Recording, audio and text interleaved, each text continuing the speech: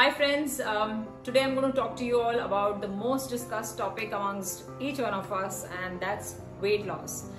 Um, the moment we start hitting our 30s, 35 years of age, our metabolism starts uh, dropping and uh, in case we don't uh, uh follow a good healthy nutrition and keep ourselves physically active, metabolism goes for a toss. So let me just explain to you in very simple language what exactly metabolism means. Um, metabolism means the rate at which our body burns calories.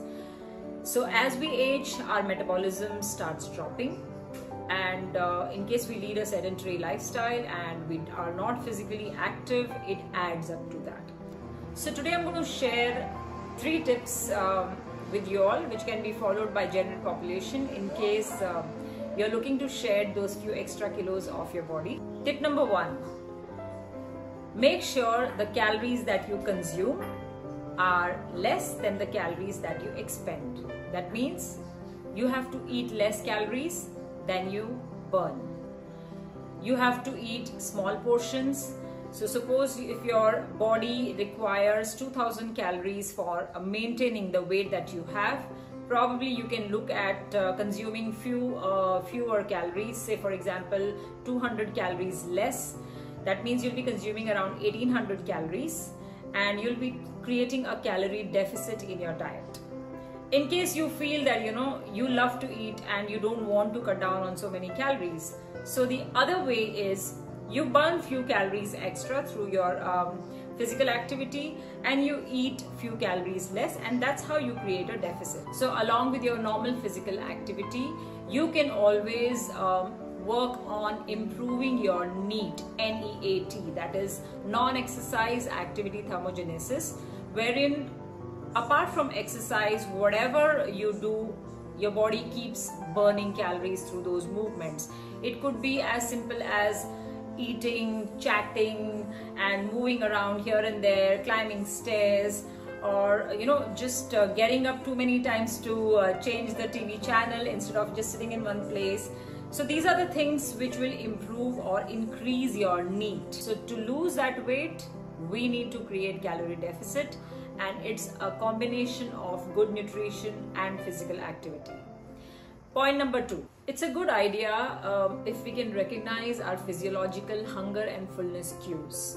Um, a lot of times uh, when we feel like eating something, we are actually not hungry, but we are bored. So, for example, um, you know, you're just browsing through your phone or you're watching TV, and suddenly you get this craving of e eating something. Um, please understand that uh, it's not because you're hungry that you want to eat. It's probably you're bored that, that you want to eat or probably you want to just you know munch on something because you're watching a movie your favorite movie or something like that.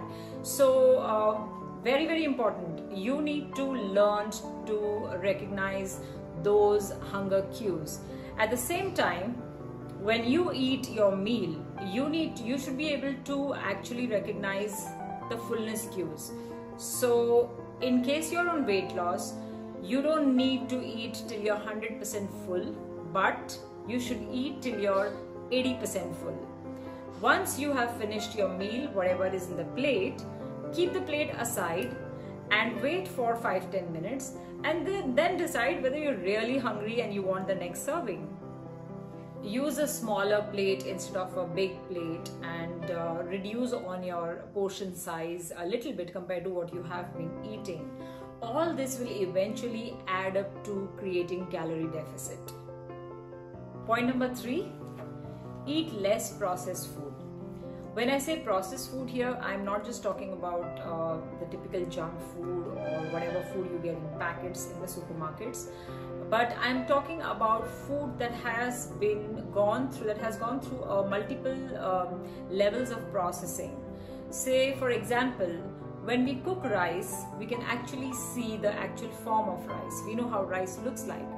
But on the other side if you bake a cake uh, with lots of butter in it you really don't know how the maida or the actual form of maida look like so that was a very uh, small example uh, but uh, whenever you see any foods or you um, encounter any kind of foods, try to identify what the actual form of that food is. So my point here is try to stick to real food as much as you can so these are just basic three tips that we can follow and start our weight loss journey try and keep your weight loss goal realistic and not very unrealistic. So if you have a goal of losing 10 kilos in one month guys that's really unrealistic and it's all going to come back.